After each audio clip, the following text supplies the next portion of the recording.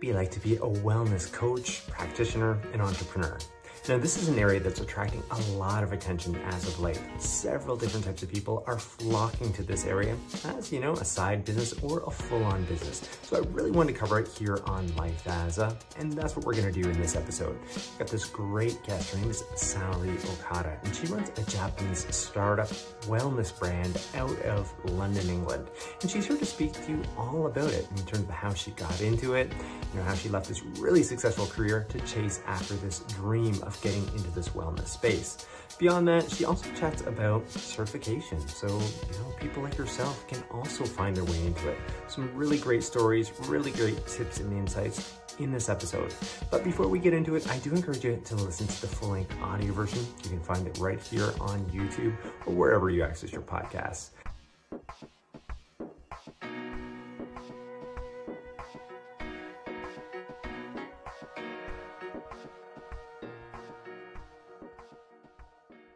All right, well, first up, it probably makes sense to go after the definition of wellness. I mean, this word itself has been thrown about quite a bit, but I want to hear what somebody like Saori herself would say, what it means, like what it means to her based off all of her experiences. So here's a clip of Saori sharing that for us my definition has also changed over time. Mm. Um, and as I've gained different experiences as well as education and also different perspectives. So I would say growing up, I always thought that wellness was really about your physical well being. So what that means is how I look or what I put into my body, the exercise, the diet. That was really how I defined wellness.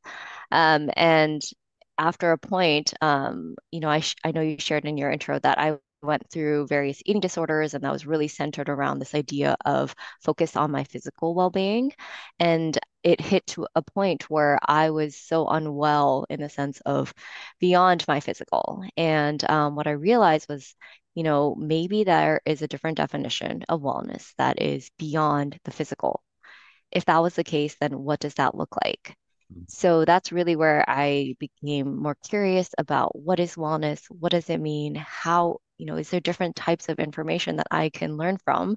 Because right now I am so unwell, even though I'm in the best shape of my life. I look great. I feel awful. There must be something off. And yeah. so now I, you know, now how I define wellness. So, um, as you mentioned, I did go through a training in holistic wellness. And that's really the pillars that I use to help define wellness. So um, when we think of holistic wellness, it means that there's three pillars. There is your physical well-being, uh, there is your mental well-being, and there is your spiritual well-being. Um, and what I found really fascinating is that after I gotten better holistically, I finished my training. I then looked into my own culture of Japan. And mm. what was really interesting was that there are so many wellness aspects that are part of more than that physical. You know, we're very spiritual in Japan. And I honestly just didn't have the vision to be able to see it or appreciate it. So to shed further light on a wellness business, I thought it would make sense for Saori to explain her own business, which is called Mogami Wellness. So listen closely. I mean, what she's describing here obviously has a slant towards the Japanese side of things, but I think broadly speaking, it's going to give you this, you know, overview of what this type of business could look like. Mogami Wellness is my the like the company name, and the mission is really to empower holistic wellness and um, these are really rooted in Japanese wellness principles. Um, Christopher, perhaps you know throughout your long time in Japan, but there's a lot of um, simple longevity wellness principles that I think are embedded within Japanese culture, which has also helped it become a longevity nation. And um, it is my belief that we can, everyone in the world can um, benefit from such principles. And um, our mission is really to help educate people with authentic Japanese wellness principles so that they can make, you know, tangible, actionable changes to their lifestyle because, um, you know, wellness is something that happens every day. Um, it's those small lifestyle changes that you can make. And um, that's really what Mogami is focused on. So to drill down even further on that last clip, here's Saori breaking down some of her service offerings as well as some of the principles that she does base her business around. Now, as I mentioned at the top, check out the full-length audio version. You know, Saori does go into a little bit more detail in terms of some of the other principles, but I still wanted to give you at least a sampling of what some of those are here in this video. Uh, no day is the same. um, being an entrepreneur. I feel like I get to wear many hats, and that's something that I've come to learn to appreciate. Um, but I will say, so Mogami, we are centered around five wellness principles, and we really focus on delivering that in different mediums. So whether that be private coaching, that whether that be group events, um, you know, I think they're all rooted on those five. And so um, one of them I think most everyone may have heard of. It's called Ikigai, and it's the Japanese word for purpose, which I feel like a lot of people have seen um, and you know adopted in different coaching models. Um, but I try to focus on the authentic definition of that, which maybe we'll dive into a little bit deeper. Um, and then the second one is body and soul care. So what I mean by that is in Japan, when we say we take care of themselves, we have a kokoro, which is our heart, and then we have our karada, which is our body. And that's really the definition of a human in Japan. So when we think about, um, you know, Mogami, it's more like how are you taking care of your body and then how are you taking care of your soul?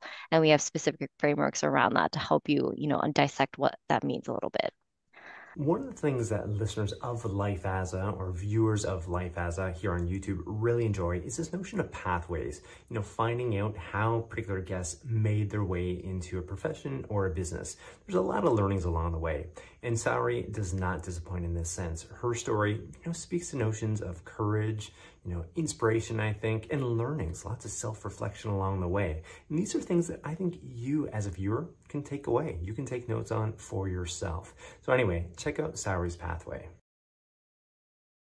I never envisioned that I would have my own company in the UK. Um, I really didn't envision that. Uh, I will say, like growing up, I was very much that um, you know, perfectionist growing up. You know, mm. I thought that I had to be this model student, um, not because my parents uh, pressured me per se. It was more really, it was coming from inside of me because I felt that, you know, to be good enough, I had to get good grades and I had to go to a good school. That led me to go to the University of Virginia. Um, that was simply because it was the best undergrad business school that I got into. And so I went there and then I studied business. I studied uh, business analytics uh, and marketing. And so I didn't know what I was where I wanted to go professionally, but a lot of my friends, uh, most of them went to uh, Wall Street or New York, so I followed along. I was like, okay, I guess this is where I'm supposed to go.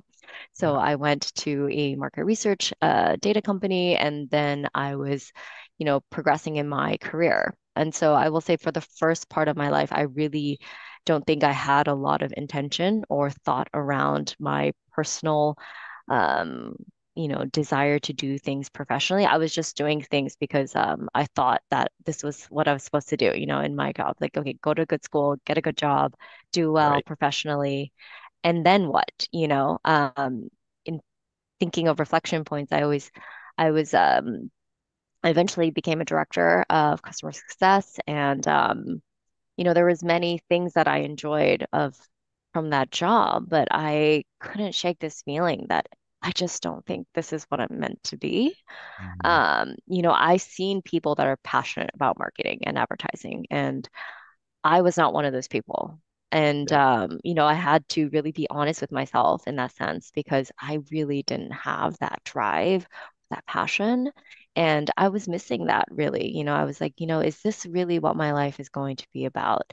Um, and then on top of that, you know, I I mentioned earlier that I was going through my eating disorder recovery. And um, I think that's really where I, once I got better, I was able to have more mental space to be able to think about what I really wanted to do.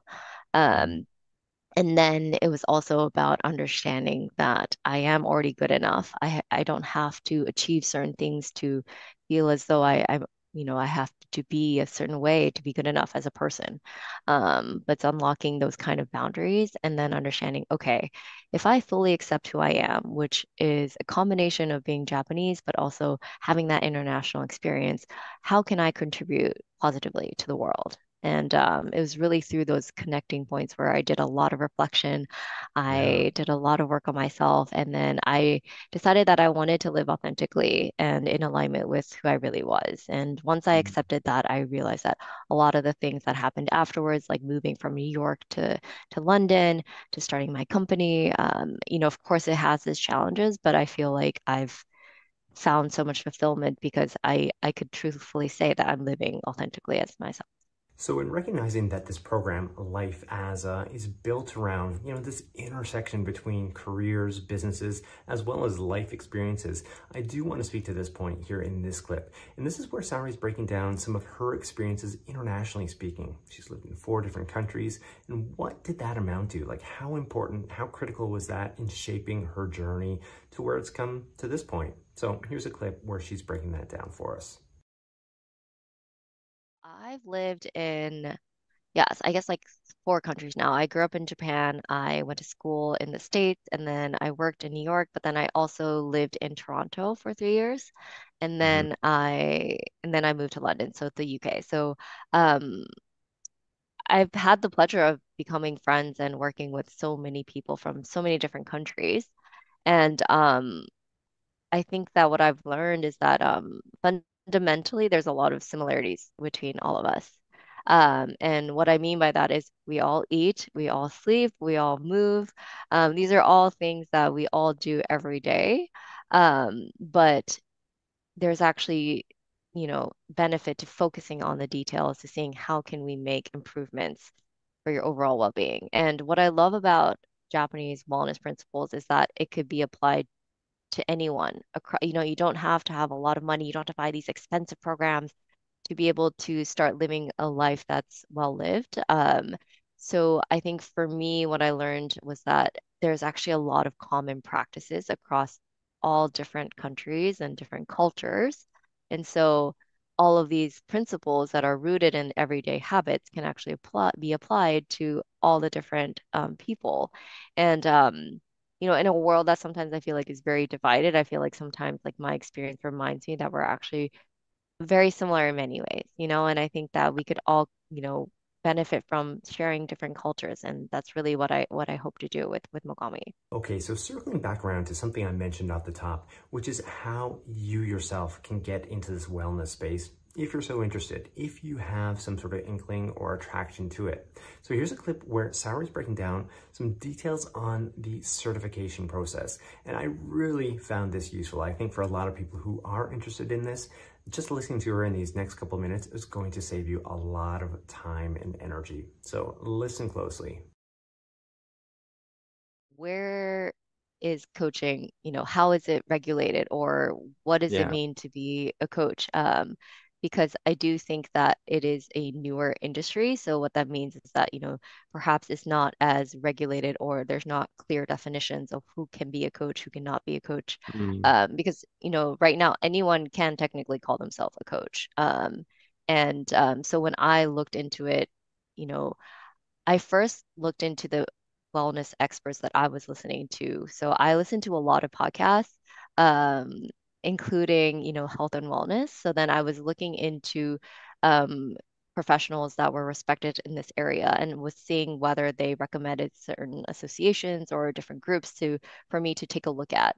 So when we look at coaching, I think the most well-known one might be ICF, which is the International Coaching Federation. So this is not beyond just wellness coaching, but there's also professional coaching, there's executive leadership coaching. Um, you know, these are all part of ICF. So um, if you go to the ICF website, um, there are a lot of programs that are approved by the ICF. So what that means it's ha it has met their um, certification and standard of programs so that you can be able to filter potentially programs that do not meet, meet that criteria. And then the second one is because I study holistic wellness, um, I looked at the uh, National Board Certified Health and Wellness Coach Association. So this is the um, main governing body for holistic wellness. Um, so the I did my training in the Institute of Transformational Nutrition, and I studied the CTNC or the Certified Transformational Nutrition Coaching Program. Uh, Wow, a mouthful. mouthful. That was a mouthful, yes, but I said Yeah. it. But um, basically it is a approved program by this board so i can essentially i'm certified i am eligible to take the board certification for this um so um and then the last thing i also did look whether they were part of the UK and International Health Coaching Association because I knew that I was exploring living abroad in Europe. And so I wanted to make sure that my certification was eligible for um, part of this association, which is the UK's um, only coaching, health coaching um, accrediting program. I think um, if people were considering um, you know, exploring this aspect, I would definitely make sure that you check out these, um, you know, accreditation associations because there's always a list of approved programs. Um, and then look into whether it, it, does hit the criteria that you're looking for in terms of um, is it a is it approved program by the ICF? Is it approved for that you could sit on the national board exam for the NBC HWC? Um, so that would be a few tips that I have. Okay, well, it's probably about time to draw this video to a close. But as always, I do encourage you to check out the full length audio version. There we dive even deeper into Saori's business, into further tips and insights for those who might be interested in getting into wellness. We look at the future as far as the role of technology. She also shares this really great insight in terms of networking, how critically important that is, and how we can actually go about doing it in a simplified manner. So again, tons more to check out in the audio version. You can find it right here on YouTube or wherever you access your podcasts. But before we go, I would love, love, love that like or subscribe. It's the best way to let this YouTube algorithm know that this content matters, that it should be put in front of more people. So anyway, I will have another video, another profession, another business covered right next week, so don't miss it. All right, we'll see you then.